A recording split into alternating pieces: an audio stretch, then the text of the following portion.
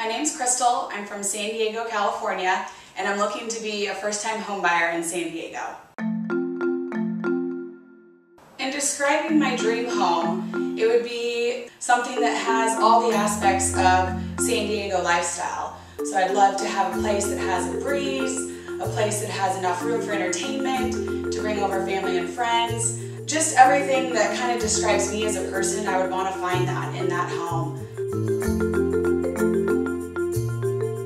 Realtor has been a big help in helping me look for my first home. Being that I'm shopping for a home on my own and being single, my realtor has actually kind of helped me, I guess, narrow it down to is this something you would be comfortable with? She kind of points out the things that I forget that I actually wanted in a home. And it's just waiting for that moment that I walk in and I say, wow, this is the right place. This is my new home.